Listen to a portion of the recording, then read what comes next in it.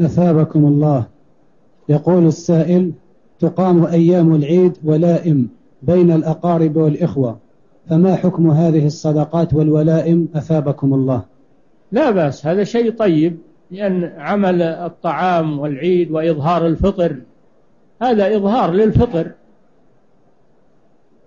لئلا يظن أحد إن رمضان لم ينتهي ومبادرة لامتثال أمر الله عز وجل. للإفطار فعمل هذه الولائم يوم العيد وتقديمها للآكلين والاجتماع عليها والتلاقي عليها هذا شيء طيب. نعم.